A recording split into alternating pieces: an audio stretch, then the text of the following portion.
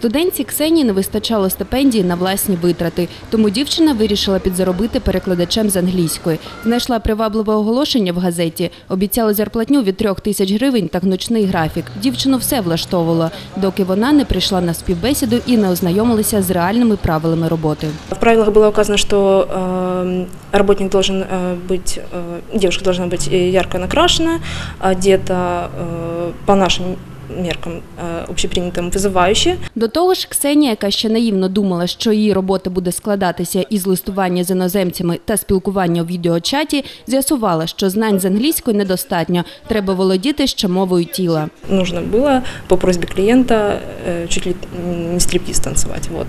Наталка, студентка факультету іноземної філології, розповідає, що подібній структурі вже працювала. Говорить, що зараз це доволі поширений вид підробітку серед молодих дівчат і не обов'язково вчитися на філолога. Якщо у тебе є хоч малейшее знання англійського язика, базовые, можно уже общаться. Клієнти та відвідувачі сайту, каже Наталя, здебільшого американці віком від 20 і до 60 років. У каждого мужчины своя цель на этом сайте, поэтому он, он, можно сказать, сам выбирает себе тему для общения, а девушка должна ее поддержать.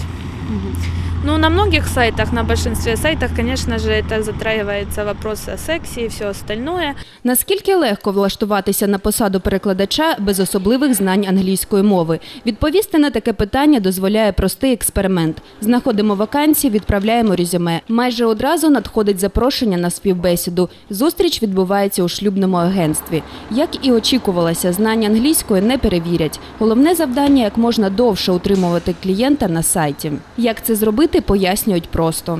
чат и видеочат. Э, Сразу говорю, интима ничего такого нет. Видеочат это лишь только для того, что они охотнее общаются. И можно в купальнике, если это, допустим, лето, да, для того, щоб потрапити на сайт агентства та поспілкуватися з українськими красунями, клієнту треба викласти чималі гроші. Дівчина за одне текстове повідомлення отримує близько 12 центів. За хвилину відеоспілкування – де 70. Скільки сплачує наземний клієнт та отримує посередник – таємниця. Директор шлюбного агентства каже, стати заміжньою завдяки інтерактивному спілкуванню майже нереально. Але натякає, більше можна заробити у тому разі, якщо дівчина розкрутить клієнта на подарунки або гроші У той час Кримінальний кодекс доволі зрозуміло визначає подібні дії. Попытка завладеть обманным путем деньгами э, потенциальных клиентов, это является мошенничеством, потому что иностранцы, которые э, потенциально выходят на связь, они рассчитывают что? Они рассчитывают найти себе невесту. Але бажаючих легко заробити це не зупиняє. До того ж і пропозицій таких чимало. Будь-яке оголошення про роботу лише для жінок віком від 18 років до 40 та зарплатнею від 2 тисяч гривень може виявитися повутинням таких шлюбних агентств. Олена Коростельова, Дмитро Семенов, агентство телевідення новості.